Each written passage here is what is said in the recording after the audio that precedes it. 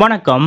திடீரென விசிட்டளித்த முதலமைச்சர் மு ஸ்டாலின் நெகிழ்ந்து போன திமுக நிர்வாகி. அப்படி முதலமைச்சர் மு ஸ்டாலின் அவர்கள் திடீரென எங்கு விசிட் எடுத்தார் என்பது பற்றிய மொழிவரத்தோடு இப்ப நம்ம பார்க்கலாம். தமிழ்நாட்டிற்கு பல்வேறு வெளிநாட்டு முதலீடுகளை இருப்பதற்காக இன்றைய தினம் முதலமைச்சர் மு ஸ்டாலின் அவர்கள் அமெரிக்க பயணம் மேற்கொள்கிறார். இன்று இரவு பத்து மணிக்கு எமிரேட்ஸ் விமானம் மூலம் சென்னையிலிருந்து அமெரிக்க புறப்பட்டு செல்கிறார் முதலமைச்சர் மு ஸ்டாலின். முதலமைச்சர் மு ஸ்டாலின் அவர்களோடு அதிகாரிகள் குழுவும் அமெரிக்கா செல்கிறது. அதேபோல் சுமார் பதினேழு நாட்கள் முதலமைச்சர் மு ஸ்டாலின் அவர்கள் இந்த அமெரிக்க பயணத்தை மேற்கொள்கிறார். அந்த வகையில் முதலமைச்சர் மு ஸ்டாலின் அவர்களது உடல்நிலை பார்த்துக் கொள்ளும் வகையில் அவரது மனைவி துர்கா ஸ்டாலின் அவர்களும் அமெரிக்கா செல்கிறார். இந்த பயணத்தின் மூலம் தமிழகத்திற்கு பல ஆயிரம் கோடி ரூபாய் மதிப்பிலான முதலீடுகள் ஈர்க்கப்படும் என்றும் பல ஆயிரம் வேலைவாய்ப்புகள் உருவாக்கப்படும் என்றும் எதிர்பார்க்கப்படுகிறது. இதற்கிடையே இன்றைய தினம் முதலமைச்சர் மு ஸ்டாலின் அவர்கள் அமெரிக்க பயணம் மேற்கொள்ள உள்ள நிலையில் நேற்றைய தினம் பல்வேறு நிகழ்ச்சிகளில் முதலமைச்சர் மு ஸ்டாலின் அவர்கள் கலந்து கொண்டார். குறிப்பாக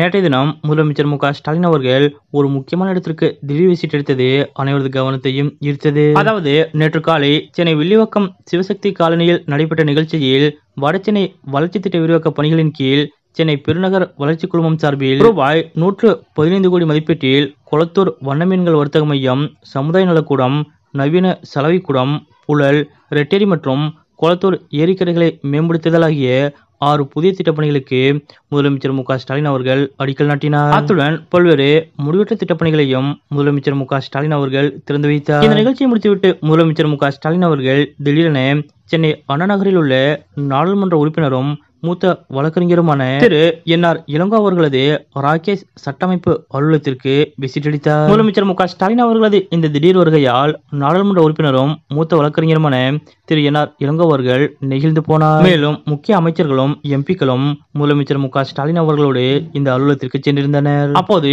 அலுவலகத்தில் சிறிது நேரம் அமர்ந்து முதலமைச்சர் மு க ஸ்டாலின் அவர்கள் அனைவரோடும் மிகவும் சகஜமாகவும் கலகலப்பாகவும் பேசிக் கொண்டிருந்தார் இன்று முதலமைச்சர் மு ஸ்டாலின் அவர்கள் அமெரிக்க பயணம் மேற்கொள்ள உள்ள நிலையில் நேற்றிலிருந்தே முதலமைச்சர் மு ஸ்டாலின் அவர்கள் மிகவும் பிஸியாக இருக்கிறார். குறிப்பாக முதலமைச்சர் மு ஸ்டாலின் அவர்களது அமெரிக்க பயணம் வெற்றியடைய வாழ்த்து தெரிவிக்க தொடர்ந்து பல்வேறு கட்சி தலைவர்களும் முதலமைச்சர் மு ஸ்டாலின் அவர்களை சந்திக்க நேரில் வருகை புரிகின்றனர். அதேபோல் சுமார் பதினேழு நாட்கள் முதலமைச்சர் மு ஸ்டாலின் அவர்கள் இந்த அமெரிக்க பயணத்தை மேற்கொள்ள இருப்பதால் கட்சியிலும் ஆட்சியிலும் செய்யப்பட வேண்டிய முன்னேற்பாடு பணிகளை நேற்றிலிருந்து முதலமைச்சர் மு ஸ்டாலின் அவர்கள் முடுக்கிவிட்டுள்ளார் இவ்வளவு பிஸியான செயல்களுக்கு மத்தியில் நேற்றைய தினம் முதலமைச்சர் மு ஸ்டாலின் அவர்கள் மூத்த வழக்கறிஞரும் நாடாளுமன்ற உறுப்பினருமான திரு என் ஆர் இளங்கோ அவர்களது ராகேஷ் சட்டமைப்பின் அலுவலகத்திற்கு நேரில் விசிட் அளித்திருப்பது அனைவரது கவனத்தையும் ஈர்த்துள்ளது. எவ்வளவு பெரிய உயரத்தில் உயர் பதவிகளில் இருந்தாலும் எப்போதும் தனது கட்சியினரை தனது குடும்பத்தினர் போல் பாவித்து செயல்பட்டு வரும் முதலமைச்சர் மு ஸ்டாலின் அவர்களது இது போன்ற செயல் பற்றிய